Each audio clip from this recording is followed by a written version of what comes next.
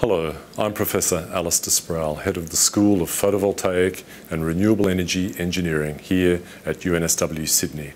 And I wanted to welcome you to our school and to the university.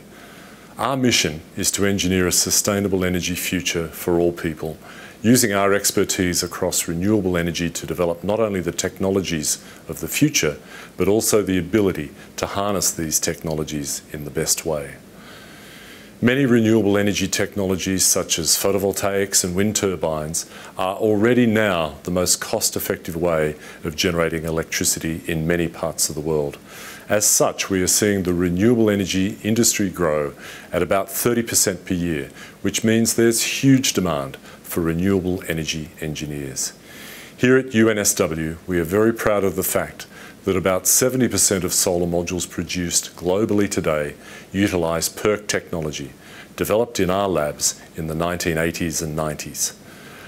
Building on our world-leading expertise in silicon solar cells stretching back over 40 years, we offer comprehensive degrees that equip our graduates to make a real difference in the world.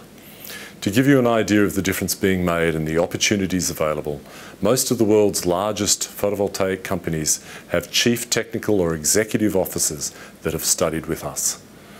Our graduates are much sought after as the inevitable shift to more sustainable energy systems gathers pace. So we hope you enjoy seeing a little of what our school does and you can get a clearer idea of what our school can do for you, your career and your goal to make a positive difference in the world. Hope to see you here soon.